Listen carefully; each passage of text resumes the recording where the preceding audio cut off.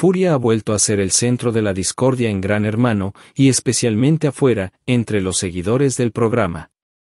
Con un par de frases encendió las redes, que se lanzaron tanto a criticarla como a defenderla.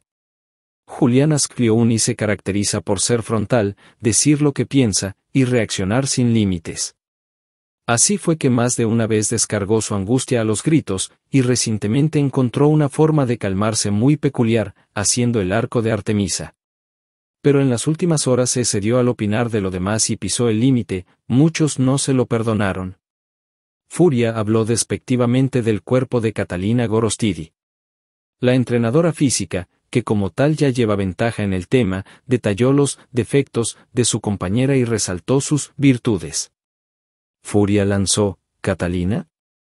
No entrena, cuatro kilos de celulitis deben tener, y toda la cola caída, aseguró sin piedad. Pero eso no fue todo, y se enoja porque una está bien, porque yo, a diferencia de ella, puedo desfilar en culo tranquila, no sean envidiosas, criticó duramente Juliana. La escalada de la competencia entre ellas llegó a un punto inadmisible. Así lo consideran muchos seguidores, que se quejaron en las redes. Esto pasó porque le dieron mucho poder, asegura un fan. Y encima la siniestra sabe los problemas que tuvo barra diagonal tiene Catalina con su imagen y la comida, es nefasta por donde se la mire. Opina otro. Pero muchos la defienden, Catalina se la pasa hablando mal de furia en el cuarto de las chicas, si grita, si está tranquila, si es una HDP, si está loca, de todo hablan, dicen. Y Furia no puede hacer un comentario, se quejan. No derrapó, la amo. A ella le dijeron de todo hace tres días, aseguran. Vienen después de cuatro días de Catavi boreando en la habitación, Furia se dio cuenta, afirman.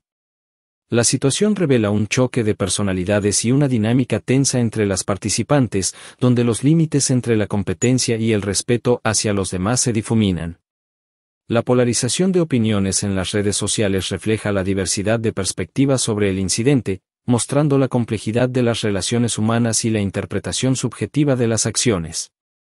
En última instancia, este episodio destaca la importancia de la empatía y el diálogo respetuoso como pilares fundamentales para la convivencia pacífica y constructiva.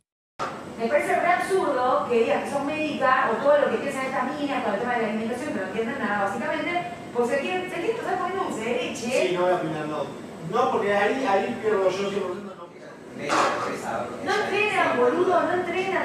O sea, 4 kilos de celulitis deben tener todo el culo caído y se enoja porque una está bien. Porque una está bien, porque yo puedo desfilar en culo tranquila. ¿Entendés? No soy envidiosa, boludo.